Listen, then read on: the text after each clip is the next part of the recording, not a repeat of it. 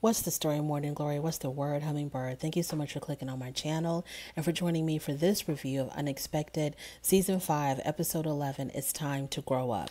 So let's get through Jenna and Tyra. Let's get them out of the way so we can spend a little bit extra time with Kylan and Jason. So, Jenna, nothing going on here. Jenna, her family's having a beach vacation. The significance of it this year is that her mom is also going to be invited. As we know, her mother and her father buried buried the hatchet. They had a conversation that they were going to stop arguing, stop bickering, stop attacking each other for the sake of Luca. They keep telling us it's all for the sake of Luca. So at the beach vacation, everybody shows up. Um, the mother, her mother shows up, and it seems like it's so far it's going well. Her parents are not fighting. They're actually having decent, civilized conversations. You know, they're acting like adults. It kind of seemed like to me that um, Jenna's stepmom was the one that was probably feeling kind of funny about this whole reconciliation thing um, because she said something about how, you know, um, she wouldn't have brought her ex to the beach house. So, kind of like, why would it be okay to bring Jenna's mom or to invite Jenna's mom to the beach house? I could be wrong. Maybe I was reading too much into it, but it kind of seemed like the stepmom wasn't 100% on board with having Jenna's mom back into their lives like this. So, also, Aiden. Aiden was in one of his moods. He was not happy. He was um, sulking. Um, when everybody was downstairs in the living room talking, commiserating, socializing, Jenna goes upstairs to get Aiden and tells him, you know, why don't you come down downstairs and join us? And he's like, nope and she doesn't understand why he's in a bad mood. Um, she did mention that he thought this whole beach party thing, beach party vacation was stupid, and inviting her mom was stupid. Um, Aiden thought that it was all going to go to hell quickly because the parents were going to be together again. You know, her her parents were going to be there together. So he thought that they were going to start fighting again, or that at some point it was going to fall apart. So he thought the whole thing was stupid to begin with. Whatever. Aiden seems like the kind of person where I felt like Jenna should have just been happy that he even showed up. Uh, the way that he is, I'm shocked that he even showed up because it seems like he would have been like, no, I'm not going to go. You know, you go with your dysfunctional parents and have a good time. But for him to even go with her and be there, I was like, okay, you know, Jenna, just kind of take this and, and, and be happy with what you got. Don't push him too much. Don't pressure him to do something he doesn't want to do. Maybe eventually you know, like a baby after they're done having a tantrum, you know, or a toddler after they're done having a tantrum, you know, they they're ready to mingle again. They're ready to play with everybody again. So maybe when he's out of his funk, he'll come down and um, you know be with everybody else. So for now, just leave him alone. If he wants to sulk, leave him alone. Um, but Jenna says the fact that he wasn't willing to come down and mingle with everybody kind of solidifies to her that she needs to get out of this relationship. Uh, maybe you do, Jenna. I don't know. Um, this this is a weird season for Aiden because last season Aiden was a lot more talkative. He was a lot more, you know, animated. This season he barely talks when he is on camera. Most of the time he's not on camera, and it seems like there's something going. Obviously, there's something going on between them, but it seems like he probably made a decision that he, if he was going to have to be on camera, he wasn't going to talk. Like he really doesn't want to do the show anymore, or something to that effect. I don't know, but um, Jenna, if you feel like you need to leave this situation for your own mental health, please do ASAP. Tyra and Alex. Uh, not much going on here. Tyra and Alex are back together. I don't know what's going on with this chick in Texas no one can give a concrete answer. Is the girl pregnant? Number one. Can we even narrow that down? Can we get a confirmation on that? Is she even pregnant? Number two, is she even pregnant by Alex? Because maybe Alex and Tyra really don't have a problem at all if the girl's not even pregnant. So I have no idea what's going on with that. Tyra acts like um, Alex has to prove something to her uh, to be back with her. And I'm like, Tyra girl, you're back with Alex. Y'all are back together. Every time he opens his mouth, she's giggling. She's playing with her hair. You know, she's looking at him underneath her eyelashes. You know, like she's just so smitten by him. Y'all are back together you got to call a thing a thing. It is what it is. So stop acting like, you know, he has to prove himself to you before you give him another chance. Tyra meets up with her cousin Taylor. Um, she wants Taylor and Tyra to somehow squash their beef. Over this whole nursery room thing. Um, but I think it was it wasn't the nursery room started it, but I think the heart of the beef was when um, Taylor and her mom were saying that Tyra steals boyfriends, steals friends, not just nursery room ideas. I think that was really what bugged Tyra and Tyra's mom. Um, it wasn't so much about the damn nursery. That was just the catalyst. So maybe Taylor and Tyra will also bury the hatchet and have a conversation one day. Moving on. Kylan and Jason. So this is the one that I want to spend the most time on. And it wasn't even so much about Kylan and Jason that bothered me. It was about Kylan and her parents. So Marie calls Kylan on the phone to see where she's at, to see how she's doing. At this point, Kylan is 35 hours in, in labor. Kylan tells her mom that she finally got her epidural and that Jason got kicked out and that she's all alone. So her mother offers to come up to the hospital to be with her. Kylan tells her mother, No, I'm fine. I want Jason. That's who I want.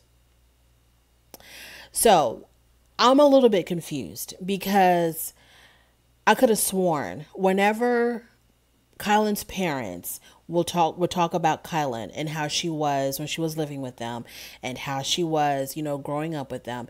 They make her sound like this really innocent, mild mannered, shy little girl who was very very attached to her mom and she was a mama's girl because her mom would say her mom had said several times that you know she was my shadow she was my mini me she was always by my side she was very attached to me. But then when we see Kylan interact with her parents and I understand that Jason has a lot of influence over her and maybe she talks the way she talks to her parents the way she does because how Jason has conditioned her. I get it. But whenever we see Kylan talk to her parents, she is just a brat. She's so rude to them. She's like telling them what to do, telling them to shut up, telling them to be quiet. Um, acting like she has no clue, has no idea how these people feel, what they're going through emotionally, even though she grew up with them. She knows how her parents are. She she can tell, she can hear the hurt in her mother's voice, but she acts like she doesn't. And then she tells her mother, um, I want Jason is the one that I want here. And I'm like, Kylan, you just continue to dig that knife deeper and deeper into your parents' heart without a care in the world. And I'm just like, where is this sweet, innocent, mild mannered, shy little Kylan that was attached to her mom? Like, where is that little girl? Because I have I still I have yet to see it. So uh then that was into the conversation. She says she wants Jason there. That's who she wants. You know, okay, I love you, bye. That was the end of the conversation. In the confessional, Marie says that she was really hurt that Kylan didn't want her there. Totally understandable, Marie. So Jason ended up, after he got kicked out of the hospital, he went home, changed his clothes, took a shower, took a shower, then changed his clothes, and then got back in his car and he was going to go right back to the hospital. Um, he calls Kylan and he blames her for him getting kicked out of the hospital. Um, he tells her, if he didn't get the epidural, I would not have gotten kicked out. And so I'm like, okay, he's delusional. He's crazy. He doesn't understand reality. But she's still in labor. Your your girlfriend is still in labor. So you calling her, blaming her, trying to make her feel guilty for you getting kicked out like how is that helping anything? She's still in labor and you're still treating her like garbage.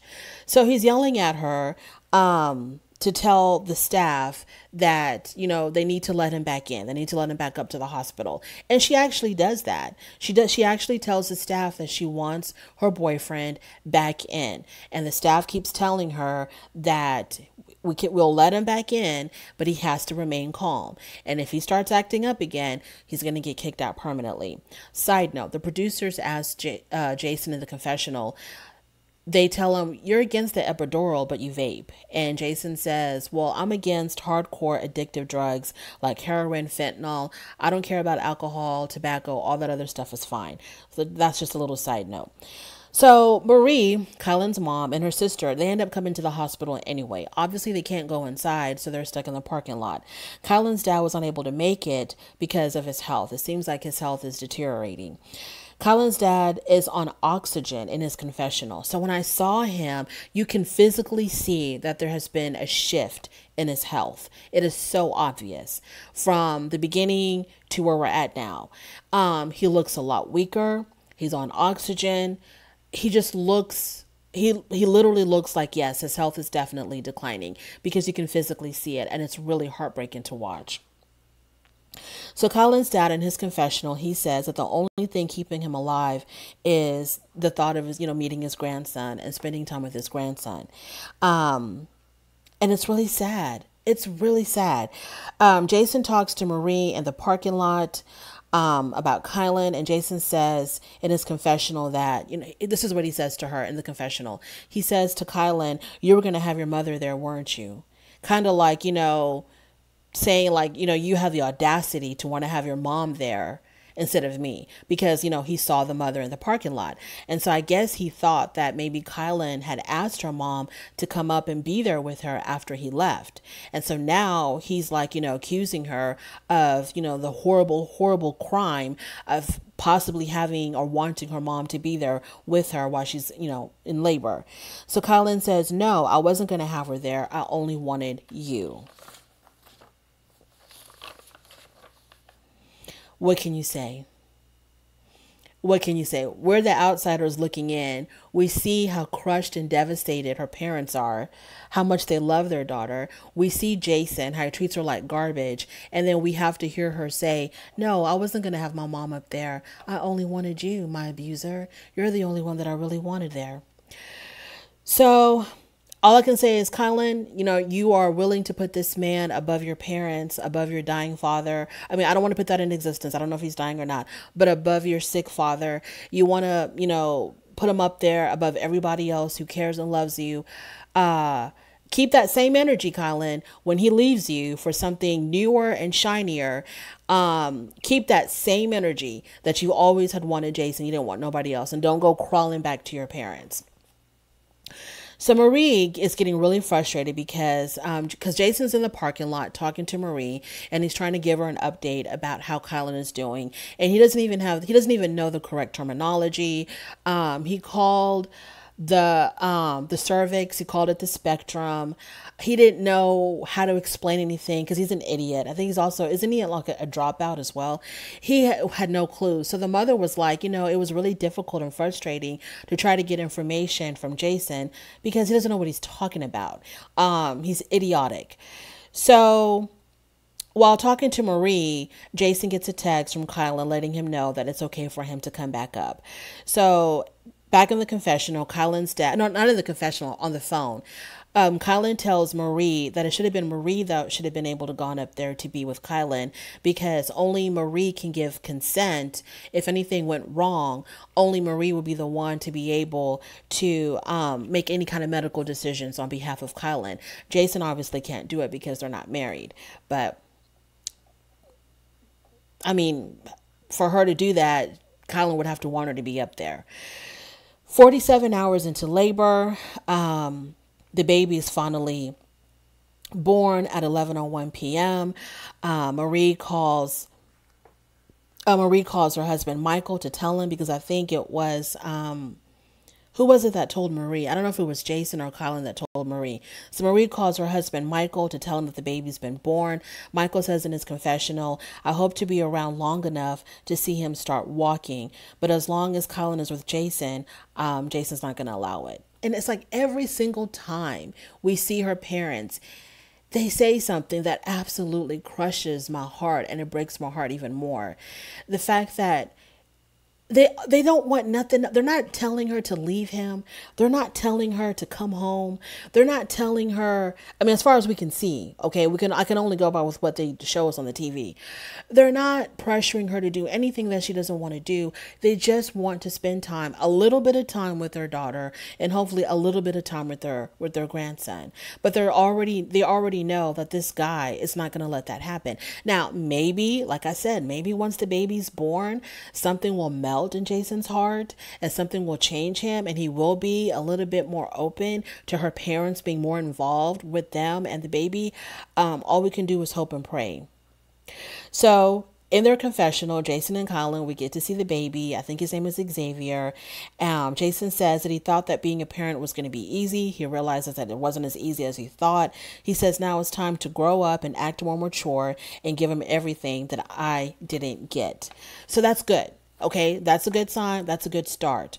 It was also good and refreshing to see Jason very hands on with the baby.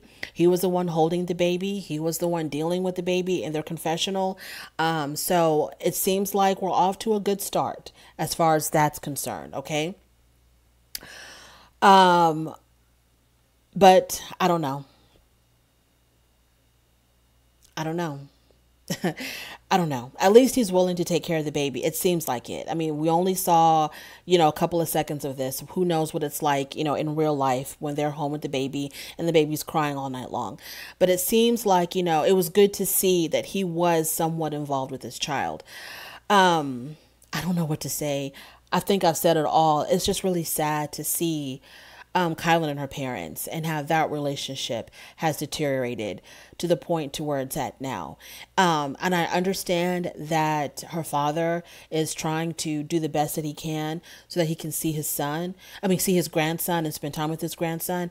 But I think that the relationship between him and his daughter is probably is what's going to affect his health the most. Um, it was just so sad to see that man on the oxygen tank and to see that he has gotten worse. And Kylan would rather be arguing with her abuser and um, allowing herself to go through something that she doesn't even have to go through. It's really sad. But baby Xavier is here. Um, beautiful, healthy baby boy. Um, and we'll just see what happens after this. Thank you so much for joining me in this review. On your way out, please don't forget to rate the video. Please don't forget to subscribe if you like this content. If you don't like this content, don't worry about it. Just pass on by. Thank you for stopping by anyway, and I will definitely talk to you later. Bye.